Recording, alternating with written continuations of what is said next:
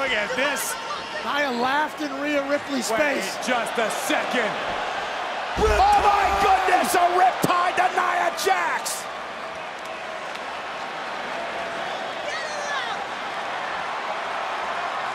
Rhea calling the entire ring.